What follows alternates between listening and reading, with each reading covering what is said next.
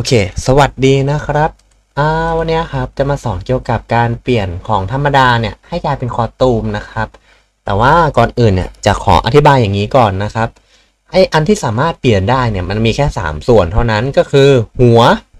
หูและปากนะฮะ ส่วนมัฟเนี่ยตรงเนี้ยถ้าคุณอยากเปลี่ยนเนี่ยหรือคุณอยากใส่ปีกทองเนี่ยแต่คุณเอามาใส่ 3 ส่วนเนี้ยเนี่ยหัวหูปากเนี่ยคุณเอาปีกทองมาใส่ไม่ได้นะเว้ยเพราะว่า ไอ้ตัวเซิร์ฟเวอร์มันกำหนดแล้วว่าไอ้ส่วนที่มันเป็นคอสที่ใส่ตรงส่วน robe เท่านั้นเนี่ยส่วนเนี่ยส่วน muff ตรงเนี้ยถึงจะให้อยู่ข้างหลังได้ ไม่งั้นอะมันจะมาโผล่ข้างหน้าตัวละคร ยกเว้นถ้ามันเป็นปีกที่ทำมาให้ใส่ในสามช่องเนี้ยมันก็แสดงได้อะเดี๋ยวจะมาสอนวิธีการทำเปลี่ยนเป็นคอสให้ดู อย่างสมมุติเนี่ยของธรรมดาสามชิ้นเนี้ยคุณเนี่ยทำง่ายๆเลยขั้นแรกนะครับ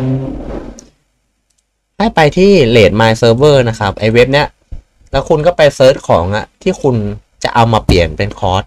ใช่ไหมอ่าจากนั้นเนี่ยคุณเนี่ยอ่าสมมุติว่าผมมีแฮชเนี่ยก็แค่กดตรง SPR ตรงเนี้ยมันจะขึ้นตรงนี้ขึ้นมานี่ภาษาเกาหลีนะ Spy Name เนี่ย Copy นะครับอ่าจากนั้นเนี่ยให้ไปที่โฟลเดอร์เกมนะปุ๊บ อ่า แล้วก็เปิดขึ้นมา นี่ แล้วก็มา search นะฮะ หาหาหมวก เนี่ย หาหมวก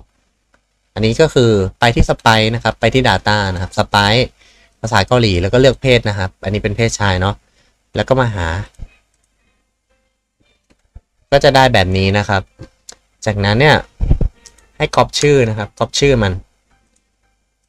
เนี่ยของหมวกเนี่ยเอามานะโอเค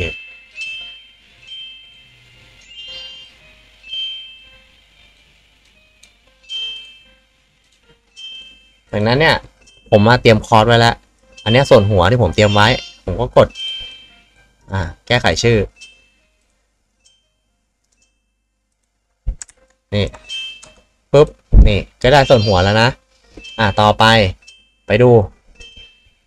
อะอีกชิ้นหนึ่งอันนี้ส่วนแว่นผมอาจจะให้เป็นปีกนะผมก็ก๊อปมา แล้วก็ไปที่ Data นะครับ ก็ search เหมือนกันในช่องนี้เลยนะปุ๊บหาชื่อที่มันตรงกันนะ มันจะเป็นเพศแล้วก็ underscore แล้วก็เป็นชื่อไฟล์นี่ก็จะเป็นแว่นอย่างนี้ อะ copy นะครับกดไม่ไม่ต้องไปกด extract นะ ผมกดผิด อะ โอเค กด copy ชื่อ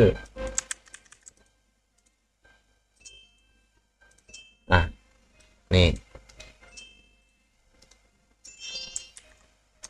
อะอะต่อไปส่วนปากนี่ครับปิดปากธรรมดานะฮะ copy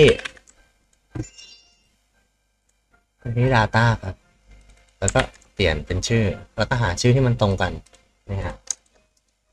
เห็นไหม copy ชื่อ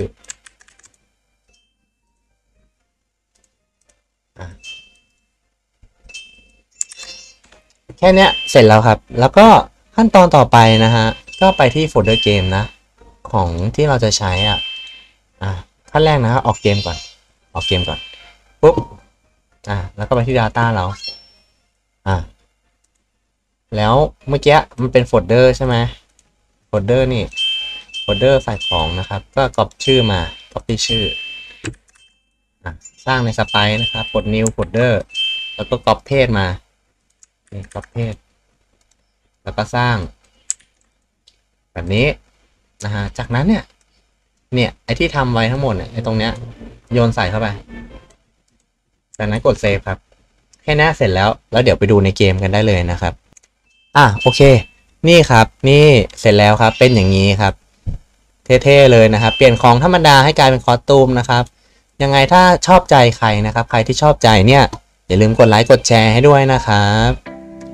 ขอบคุณที่รับชมนะครับ บ๊ายบาย